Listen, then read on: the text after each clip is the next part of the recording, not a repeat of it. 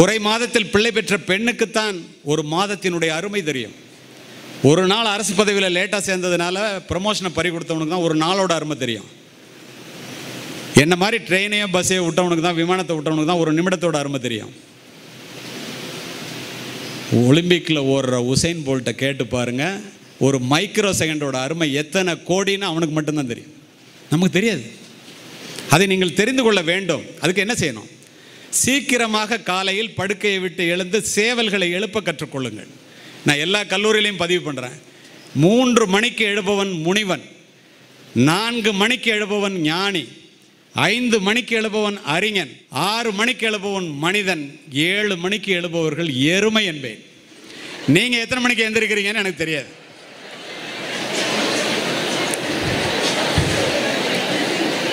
எந்த கல்லூரியில் இதை சொன்னாலும் நீ எருமையா என்னான்னு ஒரு ஒரு நிமிஷம் அதை பேசி முடிவு பண்ணதுக்கப்புறம் தான் நான் பேச்சே தொடர முடியுது இறுதியாக ஆனால் உறுதியாக பெண்கள் நிறைய பேர் அமர்ந்திருக்கின்றீர்கள் நண்பர்கள் என்னை பார்க்க வந்தவர்களும் இதை சொல்ல சொன்னதனால் இதனை சொல்லுகின்றேன் பெண்கள்லாம் women are trying to prove that women can do what men can do women were not created to do what men can do. Women were created to do what men cannot do. ஆண்கள் செய்வதையெல்லாம் பெண்கள் செய்வதற்கு முயற்சி செய்து கொண்டிருக்கின்ற இந்த உலகத்திலே ஆண்கள் செய்வதை செய்வதற்காக உருவாக்கப்பட்டவர்கள் அல்ல பெண்கள் ஆண்களால் செய்ய முடியாததையும் செய்ய முடியும் என்று நிரூபிப்பதற்காக படைக்கப்பட்டவர்கள்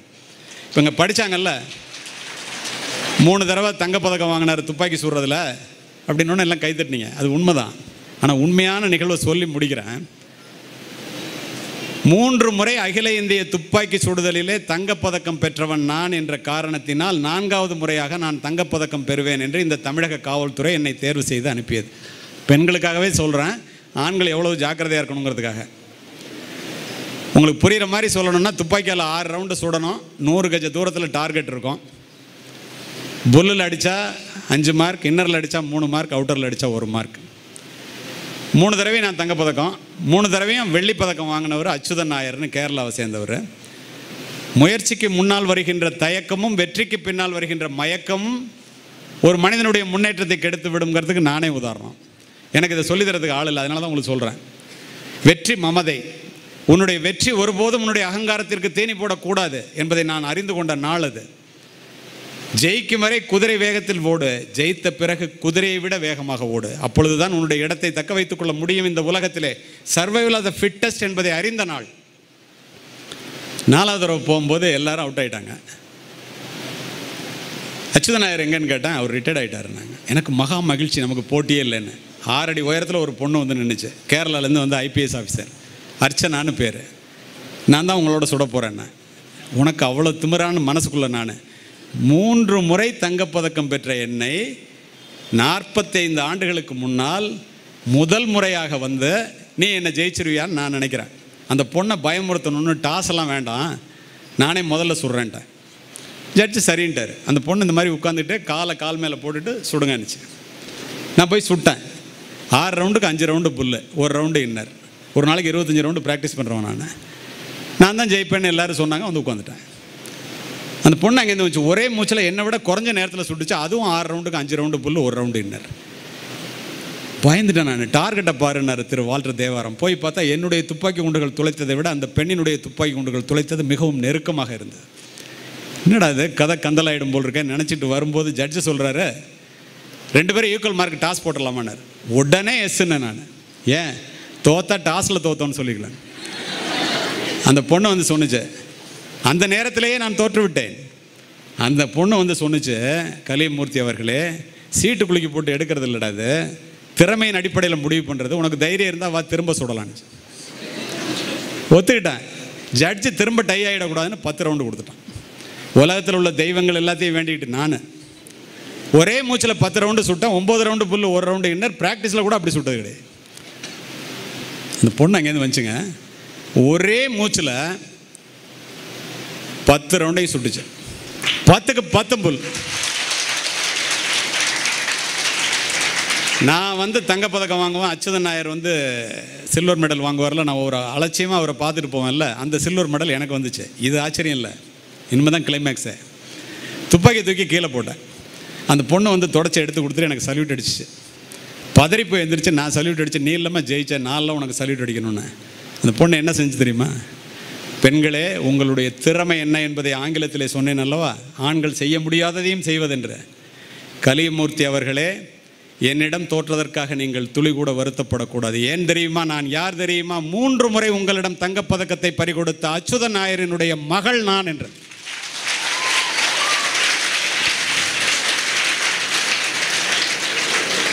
தாயிலிருந்து தான் தலைமுறை தொடங்குகிறது ஒவ்வொரு தாயும் ஒரு வரலாறு தலைமுறை மாற்றத்தை உருவாக்கக்கூடிய தகுதி படைத்தவள் தாய் மட்டுமே மாதா வைரறிய வாழா ஒரு நாளும் என்கிறார் வாரியார் மாதாவை ஒரு நாளும் மறக்க வேண்டாம் என்கிறது உலக நீதி அன்னையும் பிதாவும் முன்னறி தெய்வம் என்கிறது கொன்றை வேந்தன் யார் இல்லை என்றால் இந்த உலகத்திலேயே நீ பிரவேசித்திருக்க முடியாதோ யாரை இழந்து விட்டால் நீ திரும்ப பெற முடியாதோ அவளுடைய பெயர் தானடா தாய் என்று சொல்லுபவர் விவேகானந்தர் பத்து மாதம் முனை சுமந்து புரண்டு படுத்தால் கூட உனக்கு வலிக்குமே என்று உனக்கு வேண்டியதை உண்டு தனக்கு வேண்டியதை வெறுத்து நீ பிறப்பதற்கு முன்பே உனக்காக இறைவனிடம் வேண்டிய உன்னதமான ஒரு ஜீவன் இந்த உலகத்தில் உண்டென்றால் அது உன்னை பெற்றெடுத்த தாயை தவிர யாரும் இல்லை என் தாயினுடைய காலடியிலே தான் சொர்க்கம் இருக்கிறது என்கிறார் நபிகள் நாயகம் சொர்க்கத்தை வெளியிலே தேடுகின்ற முட்டாளே உன் தாயினுடைய காலடி தானடா சொர்க்கம் சொல்லுபவர் நபிகள் நாயகம் உன் தாயையும் தந்தையையும் கனம் பண்ணுவாயாக பைபிள் தாயிற் சிறந்த கோவிலும் இல்லை தந்தை சொல் மிக்க மந்திரம் இல்லை ஆயிரம் உறவில் பெருமைகள் இல்லை அன்னை தந்தையே அன்பின் இல்லை என்னுடைய நல்ல குணங்கள் எல்லாவற்றுக்கும் என்னை பெற்றெடுத்த தாயே காரணம் சொல்லுபவன் ஆப்ரஹாம் லிங்கன் ஏன் இப்படி சொன்னாங்க சித்திர சோலைகளாக இங்கு அமர்ந்திருக்கின்றீர்களே ஆசிரியர்களாக இருக்கட்டும் பெற்றோர்களாக இருக்கட்டும் உங்களை வளர்த்து இப்படி ஆளாக்குவதற்கு உன்னுடைய தாய் எத்துணை முறை ரத்தம் சிந்தினால் என்று எத்துணை பேர் சிந்திக்கின்றோம் நீங்கள் இன்று சூடிடும் மணிகள் அவர்கள் வேர்வையின் துளிகள் தாயினுடைய உழைப்பிலே வளர்கிறோம் தந்தையினுடைய வேர்வையிலே உயர்கிறோம் தாயை போற்றி வீழ்ந்தவனும் இல்லை தாயை தூற்றி வாழ்ந்தவனும் இல்லை கண்ணை விளக்காக்கி கையை தொட்டிலாக்கி ரத்தத்தை பாலாக்கி உங்களை வளர்ப்போல் உன்னுடைய தாய் மட்டுமே உண்டாக்கி பால் ஊட்டி வளர்த்த தாயை உமையவள் என்று உணர்கிறோ உணர்ச்சி கட்டீர் என்பான் பாரதி ஓலை குடிசையிலே ஒழுகும் மழைநீரை ஏழைகளாகிய நம்மை வளர்ப்பதற்காக தன் உடலை கூடாரமாக்கியவள் தாய் நாம் நனைந்திருப்போம் நண்பர்களே மழைநீரால் அல்ல தாயினுடைய கண்ணீரால் ஏன் தாயை பற்றி இவ்வளவு குறிப்பிடுகின்றேன் தெரியுமா வீட்டிலே சோறு சுவையாக இருந்தால் நீங்கள் சாப்பிடுவீர்கள் சோறு நன்றாக இருந்தால் அப்பா சாப்பிடுவார் சோறு மிச்சம் இருந்தால் மட்டுமே உன்னை பெற்ற அம்மா சாப்பிடுவாள் அவள் தான் தாய் பூமிக்குள்ளே இருக்கின்ற நீரானது கிணற்றின் மூலம் முகம் காட்டுவதைப் போல பசுவினுடைய உடலிலே இருக்கின்ற பாலானது மடிக்காம்பிலே சுரப்பதைப் போல இறைவன் ஒவ்வொரு வீட்டிலும் தனித்தனியாக இருக்க முடியாது என்ற காரணத்தினால் தாயை படைத்தான் தாய் அசல் தெய்வம் அதன் நகல் என்பேன் தெய்வத்தை நாம் நேரில் பார்த்ததில்லையே நேரில் நின்று பேசும் தெய்வம் அம்மா தாயை தவிர வேறு யார் இதை எத்தனை பேர் உணர்கின்றோம் வீட்டில் நெருப்பு பறக்குதில்ல கல்லூரியிலேருந்து வீட்டுக்கு போனால் முற்றும் துறந்த துறவிகளையும் தாய்ப்பாசம் விட்டு வைக்கவில்லை உங்களையும் என்னையும் அல்ல இதை நான் சொல்லி முடிக்கின்றேன் என்ன காரணம் தெரியுமா அம்மா யார் அப்பா யாருன்னு தெரிஞ்சுக்காத ஒரு ஜீவன் வளர்ந்துக்கிட்டே இருக்கு நிறைய பேர் இளைய தலைமுறை ஒரு பிள்ளையை வளர்த்தெடுப்பதற்காக ஒரு தாய் என்ன பாடுபடுகிறாள் என்பதை பட்டினத்தார் அவருடைய வரிகளிலேயே உங்களுக்கு சொல்லுகின்றேன் எளிமையாக புரியும் சோழ பேரரசனுக்கே கடன் கொடுக்கும் அளவிற்கு பணக்காரர் பட்டினத்தார் காதருந்த ஊசியும் வாராதுகான் கடைவழிக்கே என்ற ஒற்றை வரி தந்த ஞானத்தால் கோடி கோடியாக சேர்த்து வைத்த சொத்தை தூக்கி எறிந்துவிட்டு துறவு கோலம் பூணுகின்றார் பூம்புகார் நகரத்திலே வேற எங்கே இல்லைங்க தமிழ்நாட்டில் தஞ்சாவூரில் மனைவி வந்து மறிக்கின்றாள் கவலைப்படவில்லை மக்கள் மறிக்கின்றார்கள் கவலைப்படவில்லை தாய் வந்து மறிக்கின்றாள் தாயே இந்த உயிர் நீ போட்ட பிச்சை நீ எதற்காக மறிக்கின்றாய் என்று எனக்கு தெரியும் முதிய வயதிலே இருக்கின்றாய் உனக்கு ஈமக்கிரியை செய்யாமல் இந்த பட்டினத்தான் பூம்புகார் நகரத்தை விட்டு வெளியேற மாட்டான் இது சத்தியம் என்று சத்தியம் செய்து கொடுக்கின்றார் கொடுத்தவர் சத்திரத்திலே தங்கி பிச்சை எடுத்து உண்ணுகின்றார் தாய் இறந்த செய்தியை கேட்டு சுடுகாட்டிற்கு பதறி அடித்து ஓடி வருகின்றார் தாயினுடைய உடலை பச்சை வாழை மட்டையிலே வைத்து ஞான நெருப்பால் எரித்து உருகி உருகி பத்து பாடல்களை பாடினார் என்ன பாடினார் தெரியுமா தெரிஞ்சுங்க அம்மா யார் அப்பா யாருன்னு முதல்ல அம்மாவை தெரிஞ்சுங்க ஐயிரண்டு திங்களாய் ஐயிரண்டுனா பத்து மாதம் ஐயிரண்டு திங்களாய் அங்கமெல்லாம் நொந்து பெற்று பையல் என்ற போதே பரிந்தெடுத்து செய்ய இரு கைப்புறத்தில் ஏந்தி கனகமுளை தந்தாளை எப்பிறப்பில் காண்பேனினி பெற்று வளர்த்து பாலூட்டி சீராட்டி வளர்த்த தாயே செத்துட்டிய உன்னை எப்படி பார்ப்பேன் முந்தி தவம் கிடந்து முன்னூறு நாள் அளவு அந்தி பகலாய் சிவனை ஆதரித்து தொந்தி சரிய சுமந்து என்னை பெற்ற தாயார் தனக்கோ எரிய தளல் மூட்டுவேன் பத்து மாதம் சுமந்து பெற்ற தாயே உனக்கு எப்படி நான் நெருப்பு வைப்பேன் கதர்றாரு துறவி வட்டிலும் வட்டில்னா சோறு விடுற பாத்திரம் வட்டிலும் தொட்டிலும் மார்மேலும் தோல்மேலும் கட்டிலும் வைத்தெண்ணை காதலித்து முட்டை சிறகிலிட்டு காப்பாற்றும் தாய்க்கோ விறகிலிட்டு தீ மூட்டுவேன் விறகு வச்சு அம்மா மேலே நான் நெருப்பு வைப்பேன் செத்து போன தாயை பார்த்து துறவி உயிரோடு இருக்கிற தாயை நம்ம எப்படி பார்க்கணும் நொந்து சுமந்து பெற்று நோகாமல் ஏந்தி பால் கொடுத்து வளர்த்தெடுத்து தாளாமல் அந்தி பகல் கையிலே கொண்டென்னை காப்பாற்றும் தாய்க்கோ மெய்யிலே தீ மூட்டுவேன் அரிசியோ நான் இடுவேன் ஆத்தாள் தனக்கு வரிசையிட்டு பார்த்து மகிழாமல் கொஞ்சிறாங்களாம் அம்மா பிள்ளைய ருசியுள்ள தேனே அமிர்தமே செல்வ திரவிய பூ மானே என்று அழைத்த வாய்க்கு அள்ளி இடுவது அரிசியோ கொள்ளிதனை வைப்பேனோ கூசாமல் மெல்ல முகம் மேல் முகம் வைத்து என்றன் மகனே என்று அழைத்த தாய்க்கு முன்னை இட்டத்தி முப்புறத்திலே பின்னை இட்டத்தி தென்னிலங்கையில் அன்னை இட்டத்தி அடிவயிற்றிலே யானும் இட்டத்தி மூழ்க மூழ்கவேன்னு பாடுறார் நாம் எப்படி எப்படி அரங்கம் அமைதியாகிவிட்டது பாருங்கள் எப்படி உணர்ச்சிபூர்வமாக அமர்ந்திருக்கின்றீர்கள் இப்படி எல்லாத்தையும் விற்று ஒரு அம்மா அப்பா ஒரு பிள்ளைய படிக்க வச்சு அமெரிக்காவுக்கு அனுப்புகிறாங்க ரெண்டு பேரும் ஆசிரியர்கள் நடந்த சம்பவம் முதல்ல வர்றது குறையுது அப்புறம் பேசுறது குறையுது ஃபோனே வரல சமீபத்தில் நடந்தது அம்மா ஃபோன் பண்ணி இந்த கவலையிலேயே அப்பா படுக்கையில் படுத்துட்டாருறாங்கிறான் எப்படிப்பட்ட இந்திய தேசம் இது பாரத நாடு பழம்பெரும் நாடு நீரதன் புதல்வர் என்று நினைவகற்றாதீர் நேரு பற்றி இவ்வளவு சொன்னார்ல செந்தில் அவர்கள் ஏன் சொன்னார் எப்படிப்பட்ட நாட்டிற்கு சொந்தக்காரர்கள் நாம் எப்படிப்பட்ட ஒழுக்கத்திற்கு சொந்தக்காரர்கள் நாம் இப்படி இருக்கிற சூழ்நில இந்த மாதிரி ஒரு சூழ்நிலையில் அப்பா படுக்கை ஏறாரு அம்மா ஃபோன் பண்ணுறாங்க வரமாட்டேங்கிறான் அங்கேயே ஒருத்தர் கல்யாணம் பண்ணுறான் பொண்ணு பார்க்குறாங்க வேண்டாங்கிறான் அங்கேயே கல்யாணம் பண்ணிட்டான் வரதே இல்லை பேர பிள்ளைகளை பார்க்கல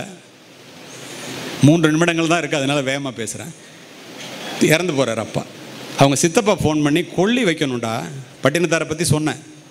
கொள்ளி வைக்கணுண்டா வாடான்னு கூப்பிட்றாரு என்ஜினியரிங் படிப்பு முடிச்சுட்டு அமெரிக்காவில் வேலை பார்க்குறான் டல்லஸில் நாலு நாள் கழித்து வர்றான் பாடியை வைங்கிறான் மனைவி இப்போ ஏன் போகிறீங்க ப்ரமோஷன்லாம் போயிடுங்கிறான் அங்கே கல்யாணம் பண்ணிட்ட மனைவி வர்றான் காரணத்தோடு வர்றான் கொல்லி வைக்கிறான் ஊரில் ஒருத்தன் கூட பேசலை மூணு கோடி ரூபா மதிப்புள்ள வீட்டுக்கு போகிறான் அம்மாவை பார்த்து சொல்கிறான் அம்மா இந்த வீட்டில் நீ தனியாக இருக்க வேண்டாங்கிறான் அந்த பேதை மனம் அந்த தாய் உள்ளம் அந்த நேரத்தில் கூட பிள்ளை நம்மளை அமெரிக்கா அழைச்சிட்டு போயிடுவோம் உங்களுக்கு பேரப்பிள்ளையை பார்க்கலாம் அமெரிக்காவை பார்க்கலாம் இல்லைம்மா தனியாக இருக்க வேண்டாம்னு சொன்னதுக்கு உன்னை அழைச்சிட்டு போகிறது காரணம் இல்லை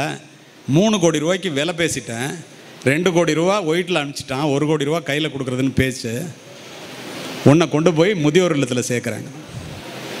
அப்பா வாழ்ந்த வீடுடா நான் இங்கே இருக்கேன்டான்னு அந்த அம்மா கதறுகிறார்கள் பதறுகிறார்கள்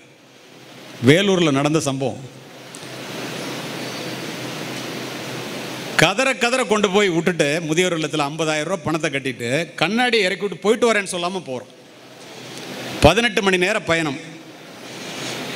நியூயார்க்கு போகிறான் அங்கே போய் இறங்குறதுக்கு காலையில் இறங்கி ஸ்வீட்லாம் வாங்கிட்டு போகிறான் சாப்பிட உட்காடுறான் ஸ்வீட் எடுத்து வையுங்கிறான் அப்போ தான் ஞானோதயம் பிறந்த மாதிரி அந்த ஒய்ஃப் சொல்கிறா துக்க வீட்டில் ஸ்வீட்டு சாப்பிடக்கூடாதுங்கிறான் துக்கம் முடிஞ்சு ஒரு மாதம் ஆச்சு ஈமகிரியெல்லாம் முடிஞ்சிருச்சு கர்மாதியை முடிச்சுட்டு வரேன் வைடி ஸ்வீட்டுங்கிறான் இல்லை துக்கம் முடிஞ்சு இருபத்தி நாலு மணி நேரம் கூட ஆகலை நீங்கள் ஃப்ளைட்டில் வரும்போதே உங்கள் அம்மா இறந்துட்டாங்கங்கிறான் இதற்காக அவங்களை படிக்க வைக்கின்றார்கள் இதற்காகவும் அவங்களை வளர்த்தெடுக்கின்றார்கள் இது ஒரு புறம் சவுதி அரேபியாவில் பேசிட்டு பதினைந்து நாட்களுக்கு முன்னால் இந்த கோயம்புத்தூரை சேர்ந்த இளைஞர்கள் எவ்வளவு நல்லவர்களும் இருக்கிறார்கள் என்பதற்காக கூறுகின்றேன் ஜெத்தா விமான நிலையத்தில் வந்து உட்காந்துருக்கேன் என்னை பார்த்தோன்னா செல்ஃபி எடுக்கணுங்கிறான் ரெண்டு பேரும் தமிழ்நாட்டுக்காரன்னு தெரியுது எந்த ஊருன்னு கேட்டால் கோயம்புத்தூர் பக்கத்தில் சொல்கிறான் பொள்ளாச்சின்னு ஒரு பையன் சொல்கிறான் இங்கே ஒரு பையன் சொல்கிறான் எடுத்துக்கன்னு சொன்னேன் எடுத்துக்கிட்டு முன்னாடி போய் உட்காந்தான் ரெண்டு பேரும் பேசிக்கிறான் சவுதி அரேபியா பாலைவனம் எப்படி தெரியுமா நண்பர்களே இந்த நேரத்தில் ஒழுங்காக படிங்கன்னு ஏன் சொல்கிறேன்னு தெரியுமா பாலைவனத்திலே பச்சை மரம் பற்றி எரியும் தார் உருகி ஓடும் புழுதி பயல் புயல் வீசும் அங்கே வேலை பார்க்குறான் கோயம்புத்தூர்லேருந்து போய் ஏதோ ரோஜ் பெட்டில் படுத்துருக்காங்கன்னு நினச்சிக்காதீங்க ஒட்டகம் கழுவணும் கார் துடைக்கணும் இங்கேருந்து போய் அங்கே வேலை பார்க்குறவங்களாம் ரொம்ப எளிமையாக வேலை பார்த்து சம்பாதிக்கிறான்னு நினச்சிட்டு அதை யாரும் செலவு பண்ணாதீங்க பாவம் ரெண்டு பேரும் முன்னாடி உட்காந்து பேசிகிட்டு இருக்கான் ஒருத்தன் கேட்குறான் என்னடா மாப்பிள்ளை அஞ்சு வருஷம் இந்த பாலைவனத்தில் வேலை பார்த்து உன் தங்கச்சி கல்யாணத்தை நிச்சயம் பண்ணிட்ட போல இருக்கேன்னு கேட்குறான் ஆமாடா அதுக்கு தான் போகிறேங்கிறான் அப்போ நம்ம வரமாட்டேன் தப்புச்ச அப்படிங்கிறான் இல்லைடா இன்னும் ரெண்டு வருஷம் வரணும் ஏன்டா இந்த பாலைவனத்துக்கு திரும்ப ரெண்டு வருஷம் வர்றேங்கிறான் அதுக்கு அவன் சொல்கிறான் தங்கச்சி கல்யாணத்தப்ப மாப்பிள்ளை வீட்டில் பத்து பவுன் நகை வேணும்னு கடைசி நேரத்தில் கேட்டாங்கடா வேறு வழி இல்லை ஷேக்குக்கிட்ட போய் ரெண்டு லட்சம் ரூபாய்க்கணும் இப்படிப்பட்ட சூழலிலே இதை கேட்டு கொண்டிருந்தேன்னா நான் அவன் சொல்கிறேன் அங்கே வர்ற தங்கச்சிக்கு நகை அப்பாவுக்கு ட்ரெஸ்ஸு இதெல்லாம் வாங்கிட்டேன்னு சொல்கிறான் அப்போ சொல்கிறான் அவன் உனக்கு என்னடா வாங்கினேன்னு நண்பன் கேட்குறான் ஏய் எனக்கா என்னடா இங்கே விலை கூட இருக்குன்னு உனக்கு தெரியாது என்ன பாடுபட்டு சம்பாதிக்கிறான் நம்ம அங்கே போய் ஒரு நூறுரூவாய்க்கு ஒரு சட்டை வாங்கிக்கலாம்டா நம்ம ஊர்டா நம்ம கல்யாணம்டா நான் உடனே அவனை இப்படி கையை காமிச்சேன் முதல தட்டு இந்த பாசத்திற்காக நான் எத்தனை ஆண்டுகள் வேண்டுமானாலும் இந்த பாலைவனத்திலே வேலை செய்ய தயார்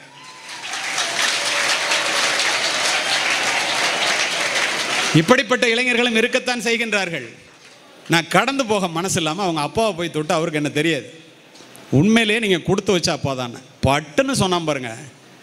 ஐயா நாங்கள் தான் கொடுத்து வச்சவங்க எங்கள் அப்பா இல்லை ஏன்பா நான் கேட்குறேன் பெத்து போட்டுட்டு அம்மா இறந்து போயிட்டாங்க சார் அம்மா முகத்தையே நான் பார்த்ததில்லை சார் எங்கள் அப்பா அடுத்த கல்யாணமே பண்ணிக்கல சார் இருபத்தைந்து ஆண்டுகளாக உடல் பொருள் ஆவி அத்துணையும் எங்களுக்காகவே வாழ்ந்தார் அந்த அப்பா இருக்கிறதெல்லாம் வித்து என்ன அனுப்பிச்சாரு நான் போய் அங்கே சம்பாரிச்சு என் தங்கச்சியை கல்யாணம் பண்ணலன்னா யார் சார் பண்ணுவா இப்போ சொல்லுங்கள் நான் கொடுத்து வச்சவனா எங்கள் அப்பா கொடுத்து வச்சோம் நான் சொன்னேன் ரெண்டு பேரும் கொடுத்து வச்சவங்க தான் சொல்லிட்டு தம்பி சவுதி அரேபியாவில் நீ என்னகிட்ட ஒரு செல்ஃபி எடுத்துக்கிட்ட வெளியில் வா ஒன்றுகிட்ட நான் ஒரு செல்ஃபி எடுத்துக்கணும் படத்தை எடுத்துக்கொண்டு கலங்கிய கண்ணீருடன் காரில் ஏறினேன் இப்படிப்பட்ட இளைஞர்களும் இருக்கத்தான் செய்கின்றார்கள் இப்படிப்பட்டவர்களாக நீங்கள் இருக்க வேண்டும் என்பதுதான் இங்கு கூடியிருக்கின்ற ஆசிரியர்கள் ஆசிரியர் தினத்தில் உங்களிடம் எதிர்பார்ப்பது அந்த ஒன்றைத்தான் உன்னுடைய தாயும் தந்தையும் எதிர்பார்ப்பது அந்த ஒன்றைத்தான் வேறு எதுவும் அல்ல அமைதி காத்த அத்துணை நல்ல உள்ளங்களுக்கும் நன்றி எல்லோரும் எல்லாமும் பெற வேண்டும் நன்றி வணக்கம்